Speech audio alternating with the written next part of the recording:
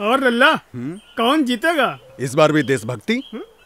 देशभक्ति माने? देशभक्ति माने बिना एक घोटाले के पाँच साल सरकार चलाना हम्म। वरना आए दिन तो घोटाले छपते रहते थे पेपर में। भूल गए का चचा? माने मोदी जीतेगा। वही ना बोल रहे चाचा। चचा तभी तो आने वाले पाँच सालों के लिए भी हम ईमानदार सरकार चुन रहे हैं। मोदी जी को चुन रहे हैं चुन रहे हैं चुन रहे हैं। फिर एक बार मोदी सरकार। कमल का बटन दबाए भाजपा को जिताए।